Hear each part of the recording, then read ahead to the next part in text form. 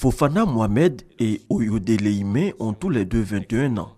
Ce qu'ils ont également en commun, c'est la maîtrise de l'art de la plaidoirie.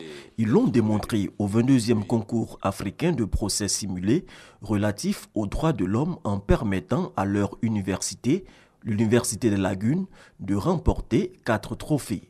Nous avons remporté les quatre prix. Il y a le prix du meilleur mémoire, le prix du vainqueur de la finale et puis le prix du meilleur plaideur. Le prix du meilleur plaideur est attribué au plaideur ayant totalisé le plus grand nombre de points durant toute la compétition. Le premier prix est revenu à Fofana Mohamed et le second à Oyode Lenyime.